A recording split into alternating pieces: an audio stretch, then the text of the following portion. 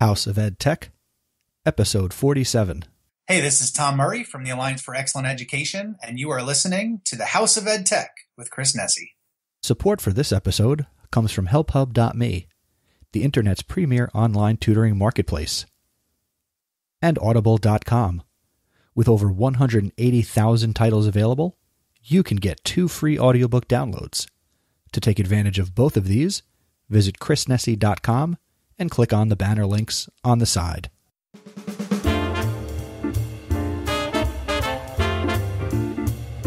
Welcome to the House of Ed Tech podcast. I am your host, Christopher Nesi, and the House of Ed Tech explores how technology is changing the way teachers teach and the impact that technology is having in education. We discuss technology that is changing our classrooms in our schools. We share tools, tips, and resources that you can hear about today and use tomorrow. I talk to teachers, leaders, and creators like you and have them share their stories. Because whether you use it or not, technology is changing the way we teach and how our students learn.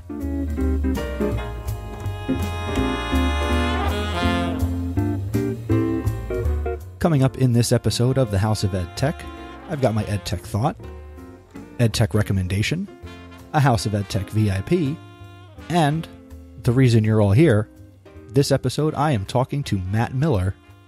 That's right, the Ditch That Textbook guy. Can't wait to share that conversation coming up in just a few minutes. But first, a couple of announcements here to start the episode. Uh, some good news on my professional front. I have a new job. Not a completely brand new job. I still have my original, my quote unquote, my day job. But beginning in January of 2016, I can add university adjunct professor to my resume. That's right. I'm going to be teaching at the college level. I picked up a course in the School of Communication at Rutgers University where I'll be teaching a course titled Leadership in a Digital Context. And I'd like to give a huge shout out to Dr. Mary Chayko for the opportunity to teach at this level and teach in an environment that I've only ever been a student in. So this is very exciting, and I'm looking forward to keeping you posted as to what happens as I go through the spring semester as a teacher. So that's very exciting. Also, in this episode, I'm going to be changing up the format just a little bit. So if you've been a long time listener, things will appear to be out of order, but I'm experimenting with the show, so we're going to see what happens. So the uh, the lineup for this episode is going to be this little bit of banter and some updates. Then I'm going to go into the EdTech thought, my EdTech recommendation. Then I'll be sharing the conversation with Matt Miller, and then I will announce this episode's House of Ed Tech VIP. Let me know what you think as I change it up here a little bit in this episode, number 47. Also, we're getting close to the end of 2015, which means that we're getting near the end of year number two of the podcast. And that means it's time for the second annual House of EdTech App Smackdown.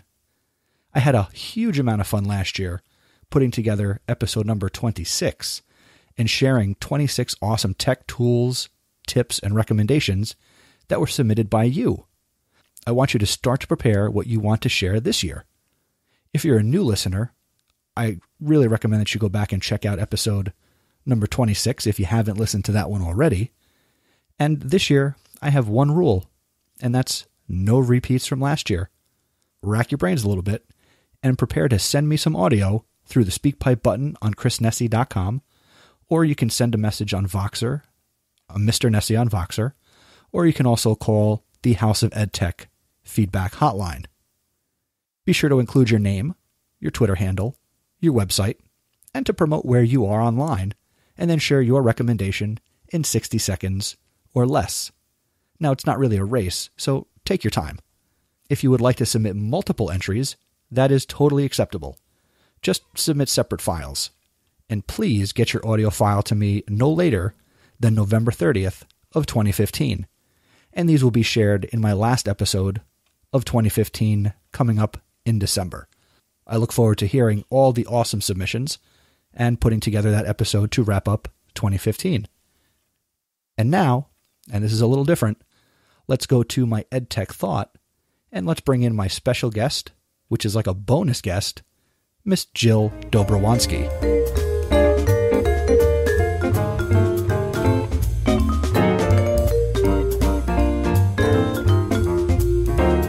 All right, joining me now through the power of Google Hangouts, Jill Dobrowanski. As you may recall, she's a former, and I don't even like to say former, she is a House of EdTech VIP. She's the director of curriculum for Wall Township Public Schools here in Jersey. And I'm bringing Jill on here real quick to talk about her experiences at the recent Edscape conference, which took place at Woodbridge High School. And if you're not familiar with Edscape, this conference is the former brainchild of nationally and actually world renowned principal Eric Sheninger. Jill Dobrowanski, welcome to the House of Ed Tech, and let's talk about Edscape. Hey, thanks for having me, Chris. I'm very excited to be here. I am very excited to have you. I know you listened to the program, and we, we met over the summer at Wall, where I got to experience some good times with you and Rich Kiker, also a former guest of the program, and got to learn googly stuff. So this is very exciting to have you here now too. So tell me about Edscape. Initial reactions, go. It was great. It was uh, my first time attending an Edscape conference, and I also had the opportunity to present at one uh, during one of the sessions. So I was extremely excited to be there. My initial reaction was that it's always energizing to be around like-minded educators, and at all different levels. I I've met teachers, principals, assistant principals, all the way up to some very famous uh, New Jersey superintendents, and had some time to have some really rich, deep, meaningful conversations with them. So, who was the, in your mind, who was the coolest person that you met on that Saturday? Uh, it was probably the keynote speaker, Pernille Ripp. I had never really heard of Pernille before attending Edscape but just to hear her speak and to have her tell her story was very invigorating and really reminded us why we do what we do every day. And I was lucky enough for that. I had the opportunity to spend some time with her for a few minutes after her speech, and uh, she is as authentic as it gets. That's what makes for good education authenticity uh, whether you're a teacher or an administrator, you know, to be real and ultimately that that's what's going to benefit our kids. What was your big takeaway from getting the opportunity to chat with her a little bit one on one or in that small group setting? My biggest takeaway was to always remember why we do what we do. Um, sometimes we get lost in the minutia and the mandates, and as long as we can always keep the kids' voice um, center and focused and really guiding every decision we make, then it is the best thing for kids in the end. Now, you also presented during the conference. What was your presentation about? My presentation was about something we started in district last year, which is called Innovation Day. And what that is, is that's one day where all four of our elementary schools grades K through five stopped what they were doing, and kids were given the opportunity to investigate and create solutions to everyday world problems. I'd like you to expand on that a little bit more because that sounds, at face value, very cool. But what makes that really cool? What are some of the things that you've seen that made you want to even present on this topic? Some of the things that we saw and heard from the kids was that you know they have the opportunity to think about and think for lack of a better term outside the box about problems that they really would have never thought of. So for example our um, first grade students were given a challenge to build a better igloo where the ice cube uh, penguin could survive the longest in. And we gave uh, the students just different types of recyclable materials and an iPad, and they were off and running, and they created some great, amazing things. So, how long did the penguin survive? The longest penguin survived for approximately 32 minutes uh, before totally melting. And the students were very proud of themselves because they had taken a couple styrofoam cups and duct tape and created a igloo in which the uh, little ice cube penguin survived. That's awesome. And, what grades were these? This was for first grade. We did this for K through five on one day across the whole district. Your presentation, is that something that we could maybe I could get a link to? I could throw in the show notes for people who want to learn more about what you presented on? Definitely. I can send you the link to the presentation. It's it's pretty bare bones though because i'm not one of those people who you know puts a presentation up just for ha- the sake of having a presentation to read off of.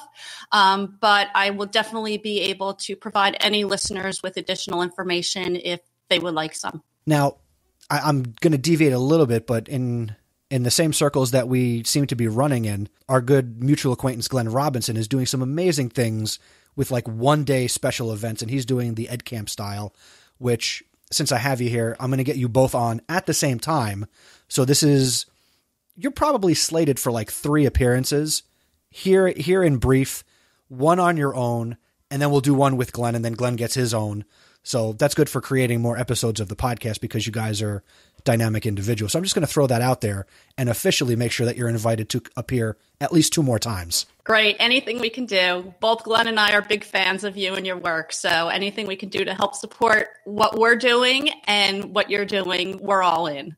I'm just a guy letting people share their stories. As I'm speaking on Glenn's behalf, also. And, and I'm sure he won't mind at all because he's uh, he's good like that. so before we wrap up, would you attend Edscape again?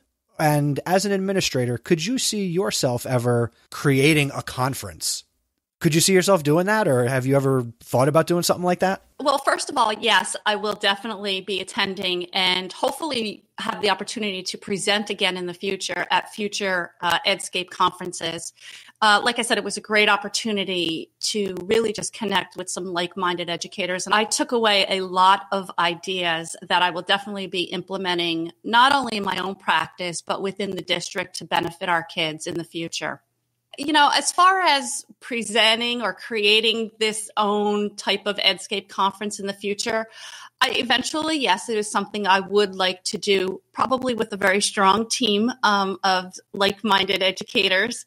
However, um, right now, what I'm doing is I'm starting small, and we're doing that at the district level. So, for example, our recent October 12th in service day, uh, all across the district, all but two of our workshops were presented by our own staff. And it was very empowering, and teachers had the opportunity to, some of them had the opportunity to select which workshops they wanted to go to. Some of them, it was more of a requirement, but we are moving towards that full Edscape model within the district for PD. And I think that that's something that I would like to expand upon in the future. I think that news like that and people like yourself who are going to do that in districts that'll be well received for teachers and other educators because if there's anything we hate as teachers, and hate's a strong word, we hate mandates and being told what to do. And how can the listeners get in touch with you? I can be reached via a few different outlets. My biggest outlet is, of course, Twitter, uh, where I can be reached at Mrs. D122. That's MRSD122 on Twitter. They can also read my blog, curriculummatters.wordpress.com. And that's with one M in between curriculum and matters. In addition to that, they can also email me at curriculummatters at gmail.com. Awesome. Thank you so much for your feedback, Jill. I, I didn't get to attend Edscape. I had some family obligations that came up, but it's definitely on my agenda for next year already. Will I get to see you at EdCamp New Jersey coming up in November? Definitely. I already have my e tickets ready to go. Awesome. Thank you so much for a few minutes, Jill. You're welcome anytime, Chris.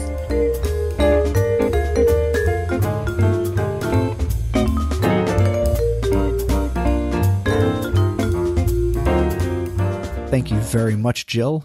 I really appreciate you again taking time to come here on the podcast, and I am looking forward to having you to come on to a future episode of the House of Ed Tech. And now, let's check out this episode's EdTech recommendation. I'd like to recommend to you the Overcast podcast app. Overcast is a powerful yet simple audio podcast player with features such as Smart Speed, Voice Boost, and smarter playlists to help you listen to more podcasts in more places, try out new shows, and completely control your podcast listening experience. Now, this app used to cost $4.99. It is now free. The reason it's free, the creator of the app found that about 80% of the users were not paying for the features that made the app so awesome. So he decided, I need to make this free so people can take advantage of the features that I put in, which was the reasons he created the app. Now, Overcast is a modern, fully featured audio podcast player. So if you do consume video podcasts, this isn't going to help you. You can download podcasts for playing anytime, anywhere, even when you're offline, so you don't have to stream them. You can download them, of course. You can search and browse for new podcasts. Plus, you can get recommendations from the people you follow on Twitter. And you can also, by sharing content, get more recommendations and share the favorite shows that you listen to. And people who use this app, who follow you on Twitter, will get to see what you like. You can create custom playlists with smart filters and per podcast priorities, and you can rearrange the lists whenever and however you want. You can also receive optional push notifications when new episodes arrive. This is a really good feature because the Apple podcast app doesn't give you push notifications, and I personally found that it really didn't update until you like manually went in and you know you swiped and you updated your podcasts. You can also subscribe to any podcast you can just listen to an episode if you search for a show. You can try new shows without committing, which, you know, commitment could be a big deal, especially with a podcast. Or use the voice boost feature to enhance and normalize speech volume. So let's say, and I don't think my podcast does this because I think the volume is pretty good, but you might listen to some podcasts that are really loud, or you might listen to some podcasts that the audio is always just really quiet and you're constantly having to adjust the volume in your car or on your headphones. The Overcast app takes care of that for you. You can also adjust the playback speed. I actually have enabled the smart speed. Now, what this does, it fluctuates over 1x. It doesn't go to 2x, but it does speed the podcasts up that you're listening to. And if you go into the settings, it will tell you how much time it has saved you by using their app. So far, I've been using it for about two weeks, and this week, the shows I listened to, I've saved about 35 minutes of time that I didn't know I was using to listen to podcasts just by using the smart speed feature. You can also control it with CarPlay if your car supports that. Overcast will also work well with your Apple Watch if you have one, using the glance and notification features of the Apple Watch. Again, Overcast is free, and there actually is one more really cool feature. When you get the app, you also have access to use overcast.fm, which is web based, and you can be listening to a podcast in your car or on the go.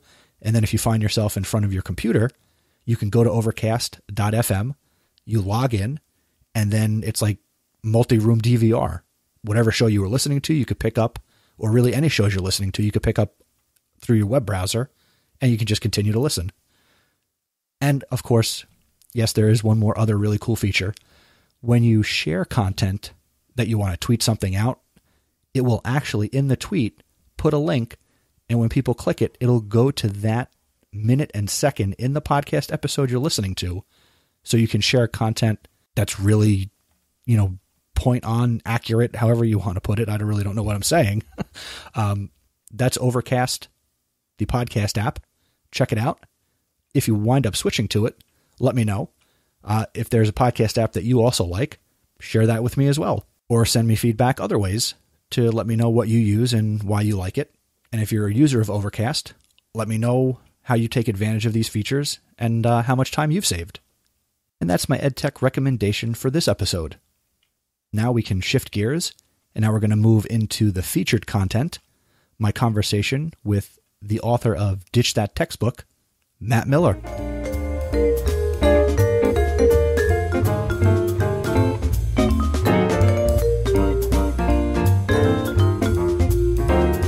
And now, ladies and gentlemen, I'd like to bring in my featured guest for this episode. Today, we are talking to Matt Miller. He is a proud graduate of Indiana State University. He used to be a newspaper reporter, which we will dig into shortly. He's been a high school teacher since 2004 where he has taught Spanish, English. He's been a yearbook advisor. And really cool, He is also the founder of DitchThatTextbook.com and the author of the book of the same name. He's a blogger, speaker, husband, father of three, and we subscribe to the same philosophy of living the dream. Welcome to the House of Ed Tech, finally, Matt Miller. Thank you very much, sir. It is it is nice and comfortable in here. I'm all dressed up in my brand new pinstripe suit for this interview, and I I think I'm I'm ready to go. I hope your listeners appreciate that I went out and got this. They should very much appreciate it, Matt, because you tweeted me directly. We call that a direct message in the ed tech world, and you said you had the suit. You've got the suit. I'm excited. Yeah, I know, I know, and and your your purple suit is looking pretty good too, especially with the top hat and the cane that, that you've got going on. So I wish they could see that because it's it is you really make it work. As uh, Bruno Mars would say, I am styling, profiling, living it up in the city. That's what I was thinking too. Yeah. we first met face to face at ISTE this past summer, and that was phenomenal because, in a weird sense, it, it, it was weird for me because I was excited to connect with you, and you were excited to connect with me, and I forget yes. who had brought it up for us, and was like, "Oh, you need to go find Matt Miller. He wants to meet you." And I was like, "What?" So it was it was just really I've never been in that situation before, so it was it was great to finally make that face to face connection and you know shake your hand and all that good stuff. Yeah, yeah, I feel I feel the same way, and I I was kind of amazed by the ISTE conference. If your listeners have never been to it and they get an opportunity to go, um, I I think it's a it's a great experience. This was my first one, and it really did feel like my entire Twitter feed was just walking the halls of that convention center. And there were there were so many people that I've I've followed and whose whose work I respect, and you're definitely on that list. And I um you know, I, I would just this this is kind of out of my personality a little bit, but I would just kind of wander up and say, "Hey, are you so and so?" And I just kind of start a conversation. I think that's kind of that's kind of where we ended up at ISTE too. So that's that's one of the neat things to to be able to do at that conference. I think. But see, now here's the difference. When I do that, nobody knows who I am because most of what you see of me is my avatar, and if you subscribe to the podcast, you see my face. With you, you walk up to somebody you're wearing a bright yellow T-shirt that says "Ditch that textbook" on the front of it. A Little yep, easier for you. Right. That's right. Bald head, glasses, and bright yellow shirt, and I'm kind of a walking billboard at those kind of things. So it does make it a little bit easier to to try to connect me to, to my work. So that's that's kind of done on purpose. And it should be. It, it's all about branding and image, and uh, and you pull it off very nicely. Well, thanks, thanks. It's you know that I I know sometimes people in education give branding kind of a, a bad name, but I really think even even for people who are starting out in blogging, if people know what you stand for and if people know who you are, then they kind of know what to expect. And if you've got a message that you're passionate about, that you want to get out, um, that you want want people to be able to hear, then I think it, I think that's a good way to good way to deliver it. So and that's why I have you here. Is is to give you another platform to deliver that message, which I think is really awesome. So, oh, thank you. Let's get into the nitty gritty, hardball hitting part of being on the House of Ed Tech.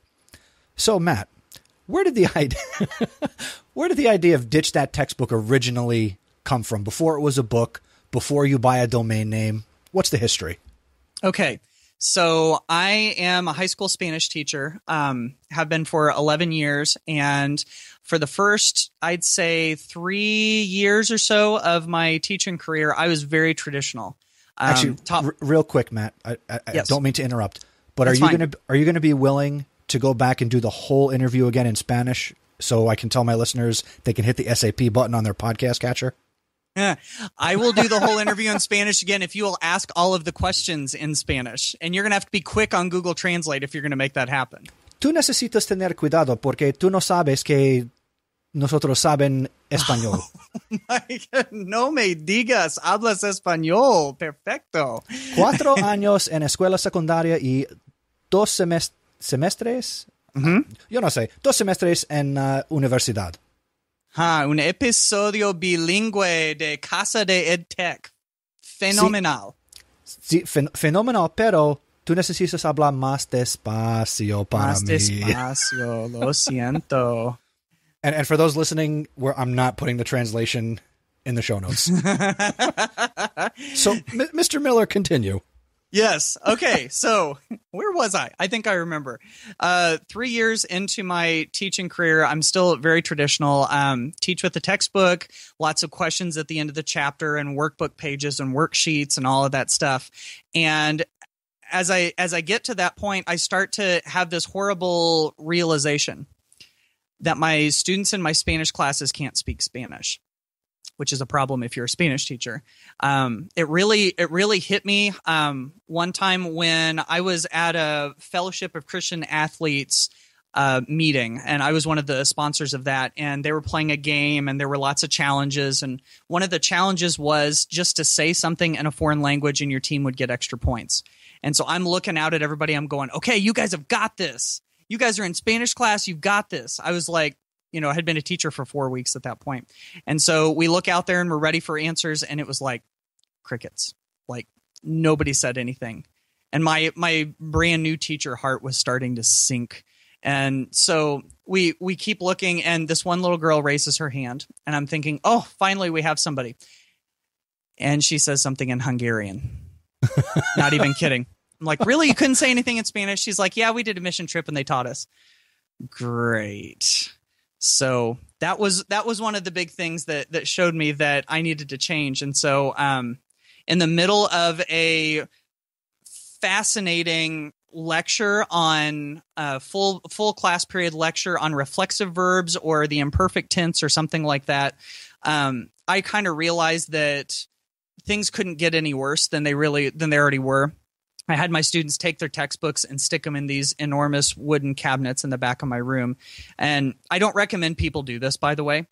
But I, I just I knew that something had to change and it couldn't get any worse. And so that was that was the original textbook ditching for me was we put those away. And I'd like to say that it was sunshine and rainbows and puppy dogs after that but it really wasn't. Um, it was sort of a mess, and I didn't really know what I was doing. But we started talking in Spanish more. We started finding authentic right resources online and creating things online and eventually my kids were able to start just sort of spontaneously talking to me in Spanish. And I still I still don't have all the answers for if I ditch my textbooks how will this work? Or I still don't have all the answers for teaching uh, Spanish in a very non-traditional digital way but it's a process. I, I think that's kind of where we all are as educators is we we want to take what we do and try and improve it day by day, year by year, and that's that's all I'm trying to do. So I'm I'm a little farther along in that process than I was back then.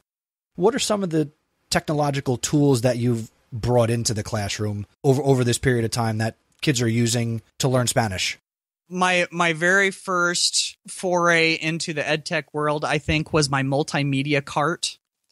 I came up with that that word because I I sort of put together a hodgepodge grouping of different things that included um, a VCR uh, a VCR player and a DVD player and some speakers. And then the crown jewel of the uh, the multimedia cart was the LCD projector that I sort of lucked into because an English teacher across the hall had gotten one and he decided that he didn't want to take his notes that were on overhead transparencies and switch them over to PowerPoint because he was too close to retirement. And so he decided to pass that along to me. So that was kind of like early days of of that and I I wasn't in a one-to-one situation and honestly I've never taught in a full one-to-one situation. This last year my class had um, a cart of Chromebooks. So they always stayed in the classroom. You know, it, it's gone from using some of the back when I did use the textbooks, using some of the software that was provided with it uh, that we we were able to do just every once in a while. To um, nowadays, this last year, I mean, we were literally on Google Apps and Google Classroom and my class website pretty much every day, almost every day. And it wasn't because I felt like we had to use that technology every time, but it was, in my opinion, the best way to get the content across and to create the learning experiences that that students needed. And there were there have been times, there were times early on and there are times still where we'll close up those Chromebooks or we'll shut the technology down and we'll just have a conversation or we'll get out an old fashioned piece of paper and pencil. I know shocking and we'll actually draw something um, that has to do with the vocabulary list that we're working with or or something like that. Um, I've got a couple of my students that that joke with me that whenever we do that, that we're pulling out the uh, the ancient educational artifacts whenever we use pencils and and paper. And I I kind of joke with them and I say, okay, back in the old days, this is how we used to write in classrooms. You see this this shiny white thing right here? This is paper. And it's a it's a relative of papyrus. And what we what we used to do with this was we used to put these these ancient scribblings on and I kind of go on and on about it and they they get a kick out of it. But we still do that every once in a while. I still consider myself to have a fairly paperless classroom, but sometimes there there are ways that that paper just gets it across better I think than than technology and I don't think that's a bad thing. No, that's not a bad thing at all. I mean, in fact, I think a couple episodes ago I had recommended uh, just using a little notebook and a pen as, as a way, you know, go, you know, taking it back to the old school. Sure, totally agree with that. Yeah, I mean, I'm I'm the same way. Whenever whenever I have to take um whenever whenever I have to brainstorm, I mean, I I love I love sketching on my iPad. I love taking notes in Drive, but if I need to do a brain dump or if I really need to get my thoughts together, I still get out a sheet of paper and I still do a mind map or a list or something. In fact, um, I still have I mean, like within inches from where I'm sitting, I still have a couple of the the papers that I charted out my book on with all of the original lists and the the word webs and all of that stuff. And that's that's how I organized my book when I wrote my book. So, and and I think there's there's also something to be said about the tactile um, advantages of doing that. I mean, there's something there's something about holding a book in your hand or about using a, a, piece of paper and actually putting pen to paper and the feeling in that or like the feeling of freshly um, sanded wood and you know j- just some of those those materials we we can't get digitally. And so i think whenever somebody says i want to go totally digital. I don't want to use a single scrap of paper in my class. I just want to do everything on the devices i think you're sort of missing out sometimes on the really great experiences of life. There's there's nothing quite like you know going out and taking a walk in the woods or walking through a beautiful state park or you know going and swimming in a pond or something. I mean i'm i kind of live out in the country and so we still do those kinds of things you know? But um you know i think we whenever we remove all of those away from the classroom totally i think we're denying our kids of certain experiences that that they should be able to have and then some of those are the experiences that are really in their wheelhouse, something that they're they're really good with. And if we take that away 100%, I I just I just think that's that's not the way to go. I, I agree a thousand percent because the same way that in a lot of situations in a lot of districts where we say we're shortchanging the kids because they don't have access to technology and certain things, if you go completely to technology, yes, then we're shortchanging them in the other direction too. Yes. Yes, absolutely. I, I'm the ditch that textbook guy, and I know that I just said a second ago there's something about holding a book in your hand, and I mean, I and my my philosophy on ditch that textbook isn't that I hate textbooks or that textbooks are not are not the way to go, but that I think that in in this age, in 2015 and beyond, I think we can do better than just bringing kids into a textbook and reading activities and things out of the book and doing questions. I think that that's that's another example of that. Is it's another way to get kids outside of that textbook because, I mean, life isn't done through a textbook. Life isn't done through a set of multiple choice questions that can be you know graded and analyzed and I think whenever we get too too focused on that, we we get kids away from what what real life really is. And that's what we're all about anyway. It's how are we preparing these kids when they leave our classroom, when they graduate, whether it's workforce, whether it's college, university. You know, how can we best prepare them? And we have to prepare them by creating the most well-rounded student possible. So if that's yeah. using a textbook or using an iPad or you know making a physical collage, we have to expose them to as much as we can.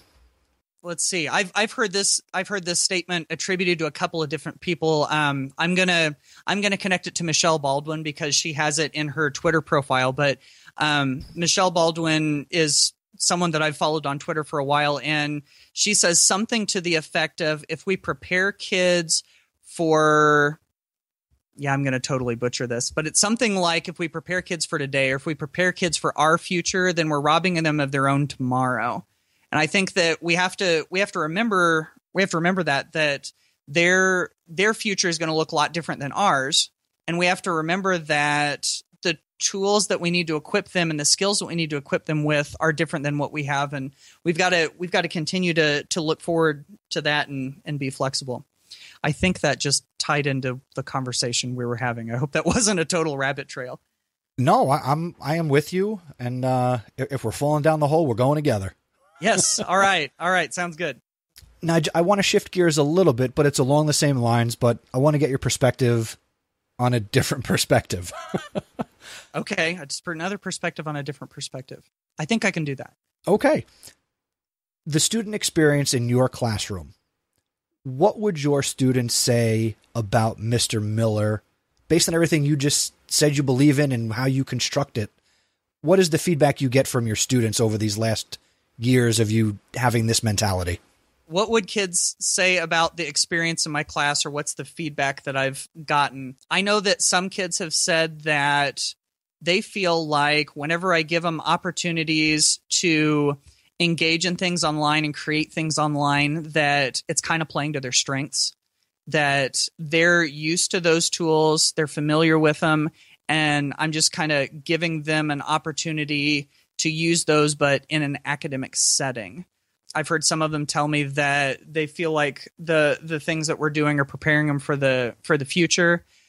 We do a lot of storytelling whenever I teach Spanish. Um, we'll take the vocabulary or the grammar concepts or whatever that we're learning and tie them into stories, just kind of goofy stories. A lot of times that we come up with off the top of our heads where the kids are the stars of the stories. And so I'll pull them in and they'll be the main characters. And so whenever we do that, it's fun and it's almost like it's it's one of those magical moments where you look up at the clock and there's only two minutes left in class and you think you've only been there for 15 minutes. It's that that sort of state of flow that you get into whenever something is is going and it's and it's going right. And I know a lot of a lot of teachers are able to reach that too. And um, for me, whenever I can just make it an enjoyable experience, just have fun within the confines of the of the um, lesson that we're doing. I think you know those are those are some of the things where where we're at our best in my class. Well, so far through this conversation, I've totally seen more than I had seen before about you as an educator. So in my mind, you're on that list now in my head of if I ever start a school or someone says, "Hey, I'm going to start a school and we need teachers," you're you we have to work together one day somehow in in a school. Okay. That that sounds awesome. I would totally even come out there to New Jersey.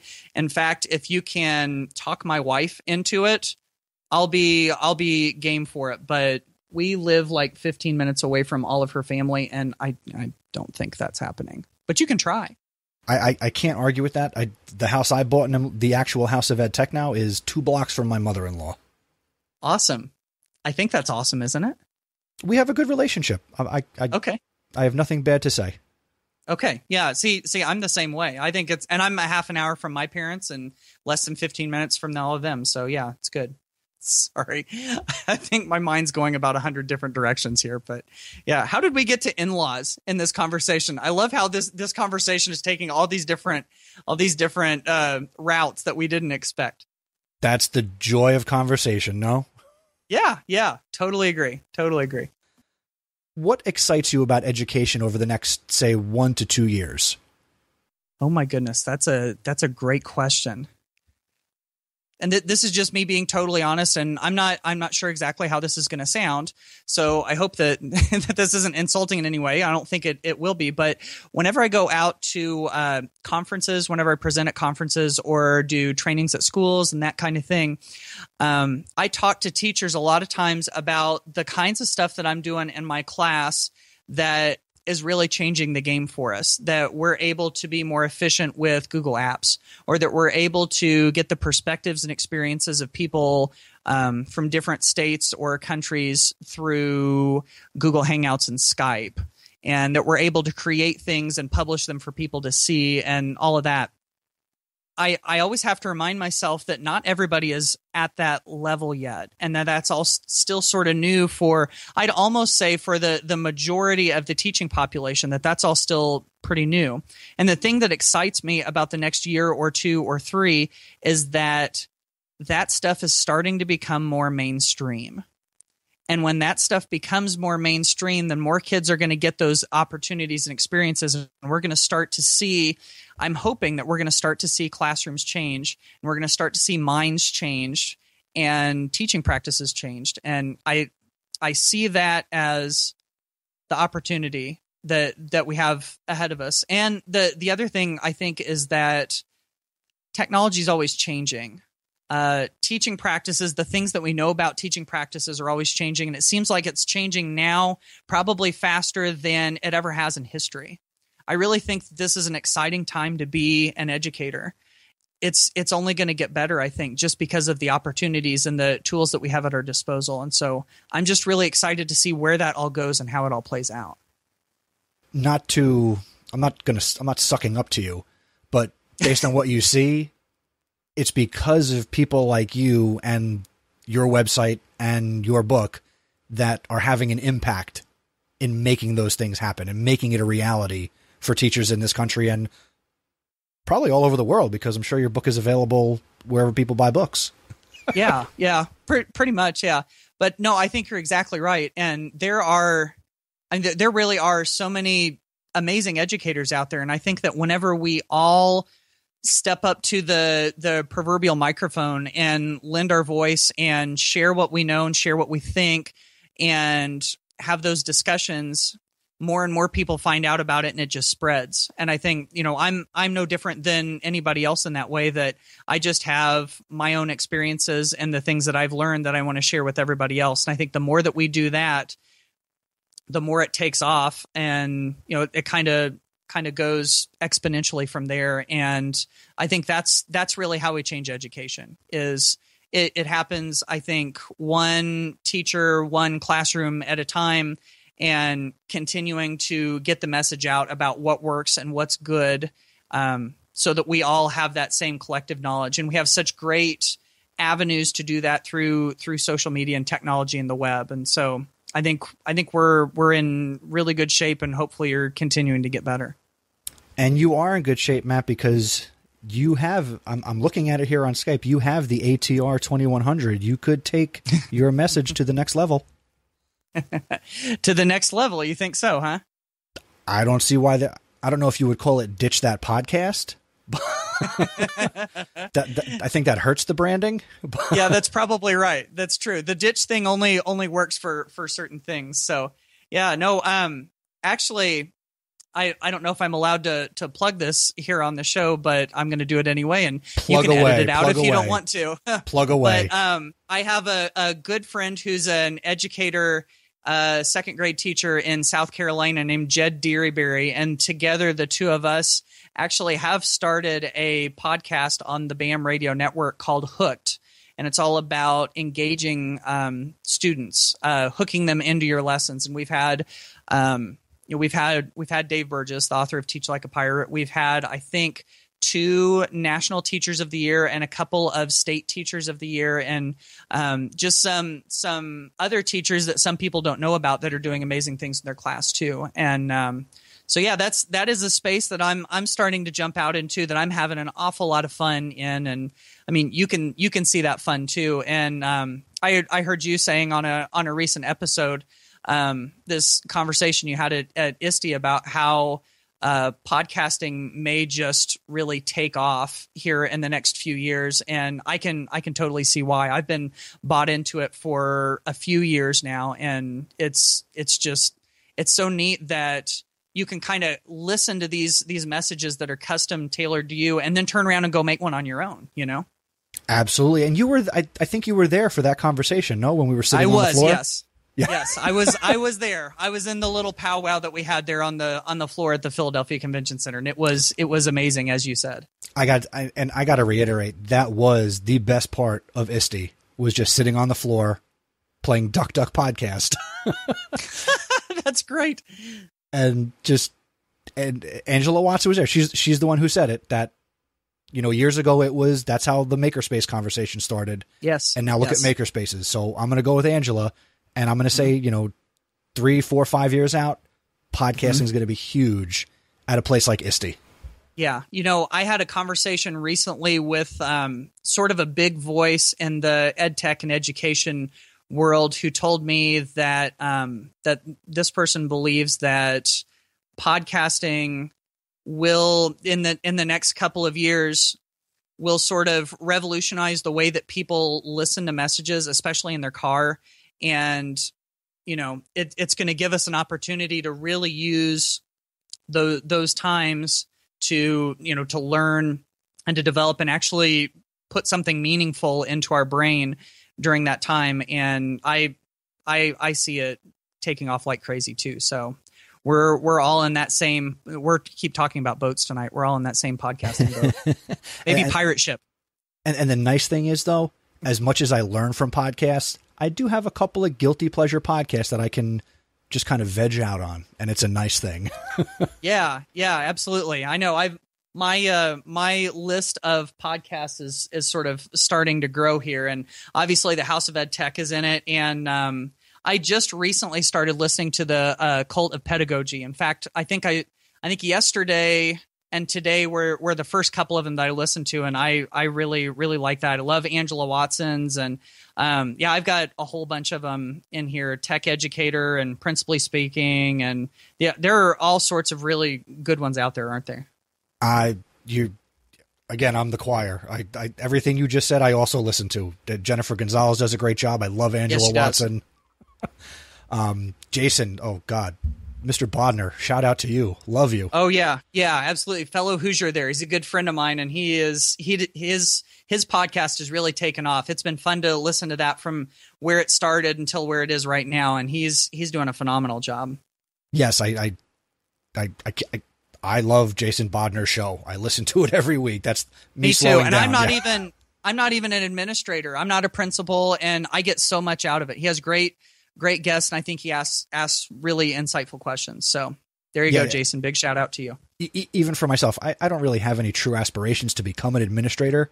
But again, good, compelling content is good, compelling content, and I enjoy it. Yes. So there you go. Yes, yes, totally agree. All right, Matt, we have gone all over the uh, the spectrum here to, here today. Yes. Um, so let's close it out. And before we let you go, let everybody know where they can find you, how they can connect with you, and how they can continue to learn from you.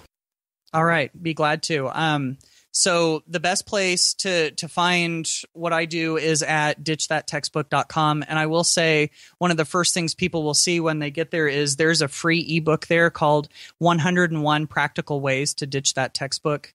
And um, that's that's just a, a list with lots of little summaries and um, you know screenshots and icons and all of that of ways to get your class outside of the textbook, bring in creativity and technology and engagement and all of that stuff. And so that's available for free. That's different than the book. Um, but I blog twice a week on that about technology and creative teaching and all of that. And so that's the best place right there. I am very active on Twitter. Uh, you can find me at J Matt Miller. That's the letter J, Matt with two T's and then Miller. Um, so definitely, you know, go check me out there. I'm also on a number of different social media and, you know, my email I'm on all the time. So I'm always I'm always willing to answer questions or engage with people on a more personal, deeper level there. So, um, you know, aside from just handing out my cell phone number here on air, I think they're they're right. There are lots of ways that, that people could get a hold of me. Matt, thank you so much for coming here on the House of Ed Tech. The suit looked great. The conversation was great, and uh, and you are great. So thank you for being here. Hey, likewise, I feel the same way. And purple is definitely your color, Chris.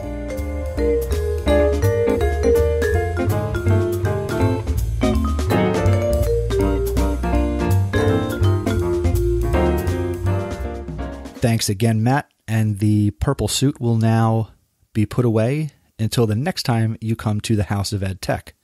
And now, before we go, let's uh, meet this episode's House of Ed Tech VIP. Congratulations to Mr. Glenn Robbins. Glenn Robbins is the lead learner at the Northfield Community Middle School near Atlantic City, New Jersey. Glenn is a husband and father, and he's a crazy man because he is also a doctoral student. He's the organizer of ed camps, and he was also involved with the planning of the NJPA ESET 2 conference. Most recently, here in 2015, he was the Middle School Educators Voice Award winner for Principal of the Year through the Bammy Awards. He's also, and this is really, really fresh and recent, he is the creator and the originator of the Ed Camp period at his school. What Glenn is doing is pretty much on a daily basis, or really on a regular basis, he is implementing an Ed Camp period for his students where his students get to choose what they want to learn the same way you go to an Ed Camp and choose what you want to learn for professional development. He's giving kids the same opportunity. It is unbelievable what he's doing at Northfield Community Middle School. You need to learn more about it. You need to connect with Glenn. I'm connected to Glenn, and you should too. He's on Twitter.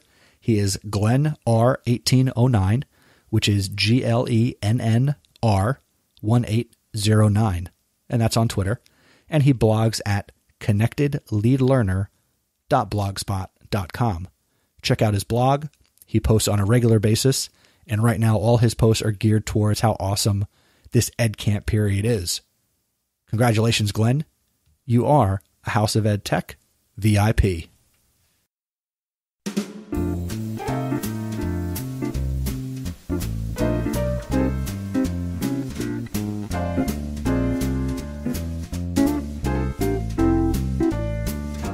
And that is going to do it for this episode of the House of Ed Tech.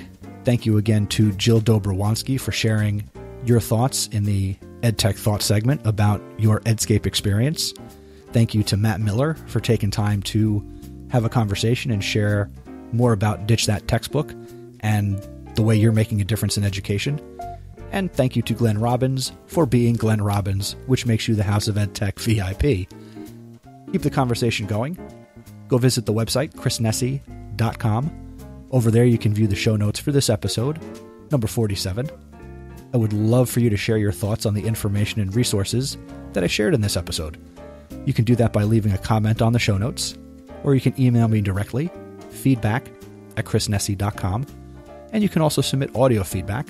You can call the House of Ed Tech listener feedback line, and that number, as always, is 732 903 4869.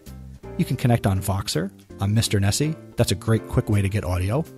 And you can also connect with me on Twitter, where I am, of course, Mr. Nesi, N E S I, and just use the hashtag House of Ed Tech. Now, if you enjoy the House of Ed Tech, go tell somebody else. Tell another teacher, tweet about it, share the show notes.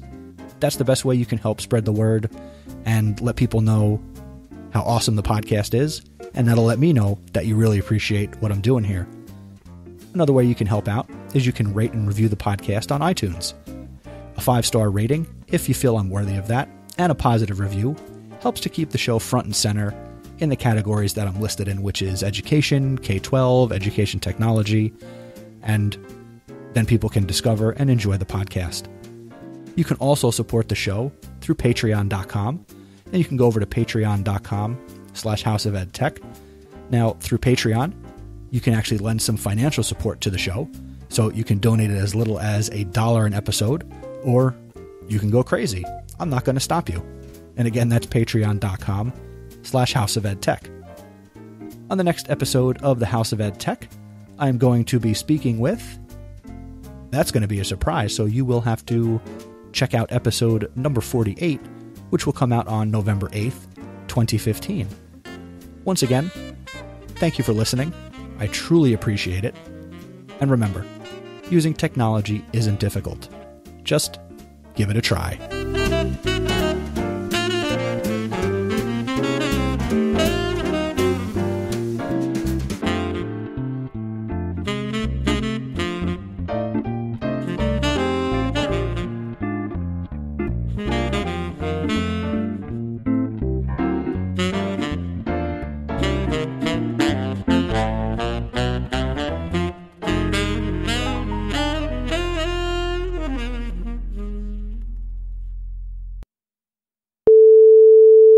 He's a blogger, speaker, husband of dad, and living the dream. Wait, what did I just say? You said I'm a husband of dad. I don't know what that is. Let's see. We'll try that again. Yeah. Now, when you were out with your mom, did she check your crotch in the jeans and make sure everything was going to be good for this first day of school outfit? I have no comment on that on that question. The House of Ed Tech is a proud member of the Education Podcast Network. The Education Podcast Network. Podcasts for educators, podcasts by educators. For more, go to edupodcastnetwork.com.